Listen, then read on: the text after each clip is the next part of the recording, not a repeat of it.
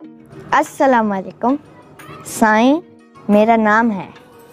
जो नहीं जानता, वो भी एक दिन जान ही जाएगा। मैं सच बोल रहा हूँ कि ना मैं किसी के साथ मज़ाक करता हूँ और ना कोई मेरे साथ मज़ाक करता है। इसलिए मुझे मज़ाक की आदत ही नहीं और ना मुझे मज़ाक पसंद है।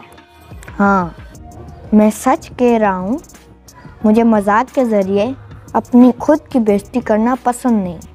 और दूसरों को बेवकूफ़ बनते हुए देखना भी अच्छा नहीं लगता। और मैं भी किसी और की बेइज्जती पर बेवकूफ़ों की तरह नहीं हंसता सच कह रहा हूँ मैं, मुझे ये सब अच्छा नहीं लगता। मुझे इंसान बनना है अच्छा इंसान, इज़्ज़त वाला। क्योंकि इंसान इज़्ज़त के लिए बना है, समझे? दोस्तों, अगर आपको मेरी इस तरह की वीडियो अच्छी लगती हैं तो मेरी इस वीडियो को लाइक कीजिए और कमेंट में बताएँ कि मैं इस तरह की वीडियो बनाऊँ और मेरे चैनल में नए तो मेरे चैनल को सब्सक्राइब कीजिए। शुक्रिया।